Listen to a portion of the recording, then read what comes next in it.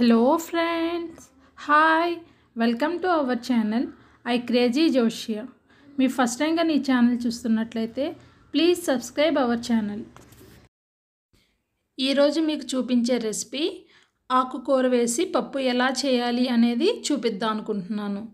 కామన్గా అన్ని ఆకుకూరలు పప్పులో ఒకే విధంగా వేసి పప్పును తయారు చేస్తారు. ఆకుకూరతో పప్పును ఎలా తయారు చేయాలి? ఏమేం కావాలి అనేది చూద్దాం.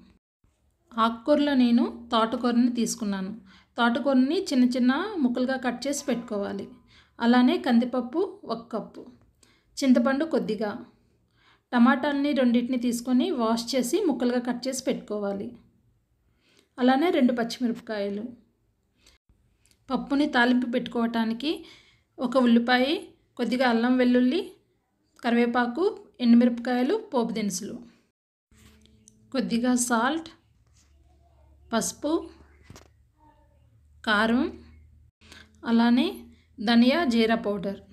ఆకుకూర పప్పును ప్రిపేర్ చేసుకోవటానికి ముందుగా స్టవ్పై ఒక కుక్కర్ను పెట్టి ఒక కప్పు కందిపప్పు లేదా పెసరపప్పును వేసి కొద్దిగా ఫ్రై చేసుకోవాలి. ఇలా ఫ్రై చేసుకోవడం వల్ల పప్పు చాలా టేస్టీగా ఉంటుంది.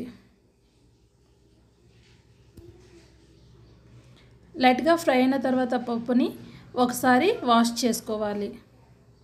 వాటర్తో వాష్ చేసుకున్న తర్వాత అదే కుక్కర్లో వేసి తగినంత వాటర్ని యాడ్ చేయాలి.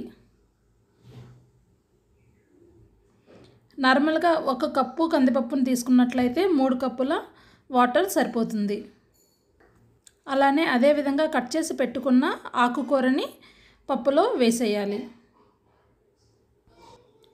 దీంతో పాటుగా రెండు పచ్చిమిరపకాయలను అలానే కొద్దిగా చింతపండుని కడుక్కొని వేసుకోవాలి. దీంతో పాటుగా ముందుగా కట్ చేసి పెట్టుకున్న రెండు టమాటాలని కూడా పప్పులో వేసేయాలి. పైన వీడియోలో చూపించిన విధంగా కొద్దిగా పసుపు కొద్దిగా కారం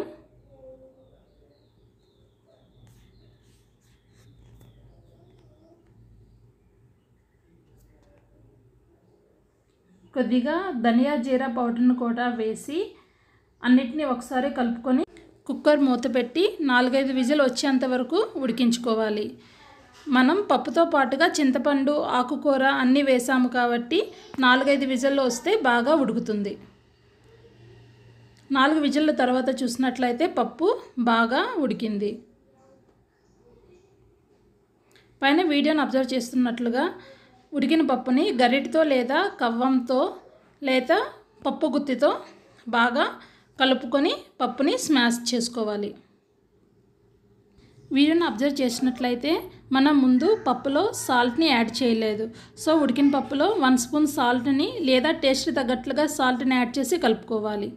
అలానే పప్పుకి తాలింపు పెట్టుకోవటానికి స్టవ్పై ఒక కడాయి పెట్టి కొద్దిగా ఆయిల్ వేయాలి.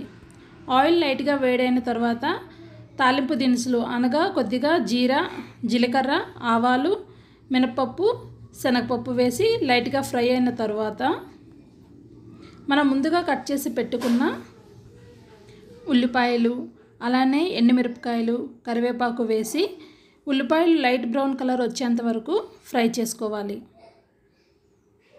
ఇలా ఫ్రై అవుతున్న ఆనియన్స్లో కొద్దిగా అల్లం వెల్లుల్లి దంచి పెట్టుకొని వేసుకోవాలి. అల్లం వెల్లుల్లి దంచి వేసుకోవటం వల్ల పప్పు టేస్ట్ బాగుంటుంది.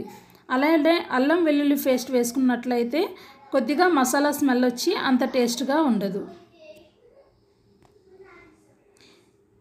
ఈ వీడియోలో చూపించిన విధంగా అల్లం వెల్లుల్లి వేసి అల్లం వెల్లుల్లి పచ్చివాసన పోయేంత వరకు అలానే ఉల్లిపాయలు బ్రౌన్ కలర్ వచ్చేంత వరకు ఫ్రై చేసుకోవాలి.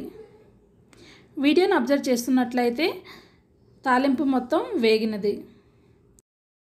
ఇలా ఫ్రై అయిన తాలింపులో ముందుగా ఉడికించి పెట్టుకున్న ఆకుకూర పప్పును వేసి కొద్దిగా కలుపుకొని మూత పెట్టుకుని గ్యాస్ ఆఫ్ చేయాలి.